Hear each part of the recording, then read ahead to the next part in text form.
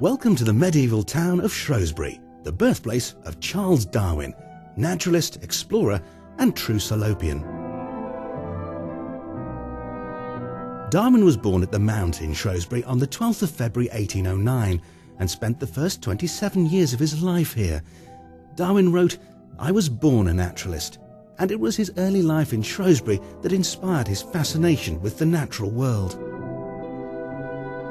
Shrewsbury has changed surprisingly little over the years since Darwin's time. Indeed, today Darwin would still recognise many of the black and white Tudor houses and elegant Georgian buildings, shuts and passageways that make Shrewsbury such a beautiful and interesting town to visit.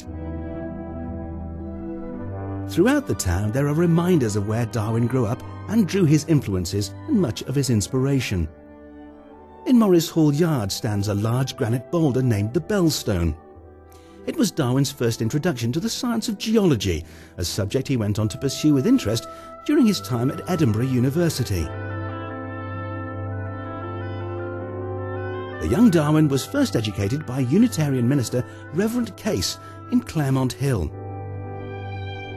And nearby is the attractive Quarry Park and the Dingle, a place where the young Charles Darwin would often fish for newts in the pool.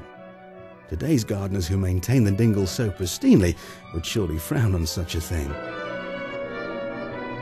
Following Charles' education with Reverend Case, he attended Shrewsbury School, which is now the town's library.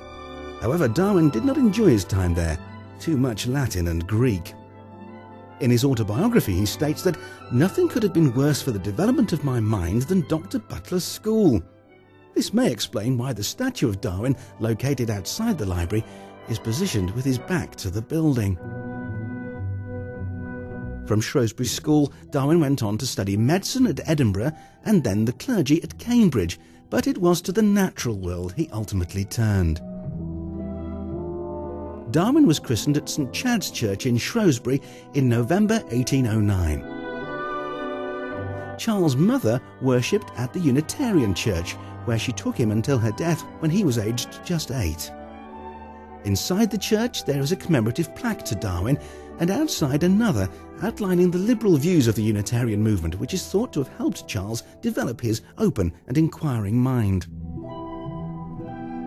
It was here in Shrewsbury that nature and nurture combined to produce the ideal candidate for the position of naturalist on HMS Beagle. Darwin's famous adventure started in Shrewsbury at the Lion Hotel on Wyle Cop an important staging post on the London to Holyhead Road. It was from here that Charles caught the coach south to meet Captain Fitzroy and join HMS Beagle. Following Darwin's five-year voyage, he returned to Shrewsbury and the Lion before making his way to the family home in time for breakfast. Three years after his return to Shrewsbury, Darwin married his cousin, Emma Wedgwood, and moved to Down House in Kent, where he finally committed his ideas of evolution to paper.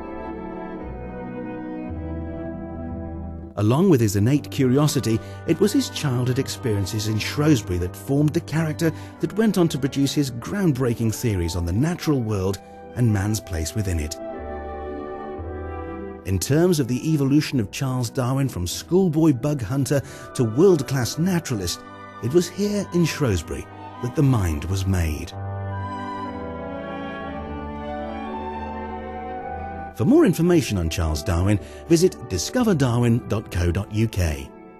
And for more information on places to stay, things to do and see in Shrewsbury, visit shrewsbury.com.